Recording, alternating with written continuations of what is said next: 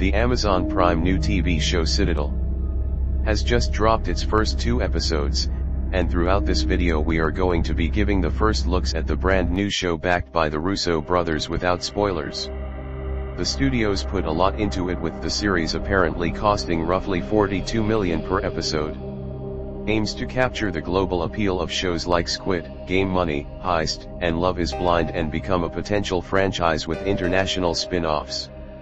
The series unabashedly draws from its influences with nods to James Bond, Mission Impossible, the Bourne movies and countless other spy films.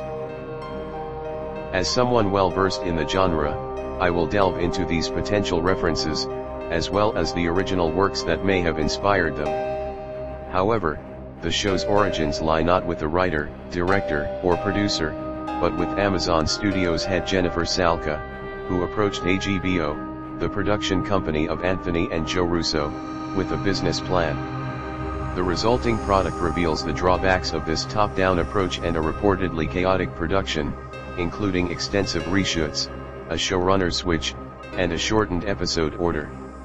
These factors are evident in the credits, with the pilot's teleplay attributed to five screenwriters. The execution of Citadel feels like a choppy, generic blockbuster by numbers, despite its nine-figure budget, which is not reflected in the chintzy CGI. Quality may not be a top priority for Amazon, as they have already greenlit a second season of Citadel along with spin-off shows set in Italy and India. However, for a sprawling interconnected universe to be successful, a solid foundation is needed, and Citadel fails to provide that.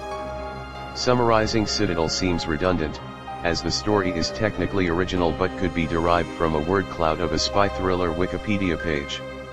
The titular organization is an international syndicate dealing with Cold War-era threats such as loose nuclear weapons.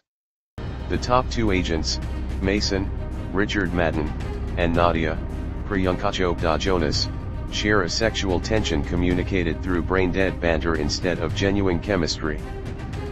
A wisecracking techie assists them behind the scenes as they face off against a posh, ice-cold Brit.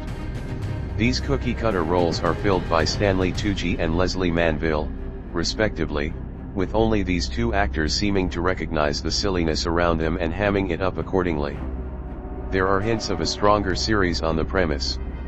Tucci explains that intelligence organizations tied to nation-states have started wars, assassinated world leaders, and killed innocents, so Citadel was founded to serve only humanity's interests. Fortunately the series does not have the style of jokes and idiotic comedy that Marvel Studios has been adopting in the films and series. Or super egocentric characters who do everything as a joke without giving a sense of risk of reality or a situation where everything is as easy and banal as breathing.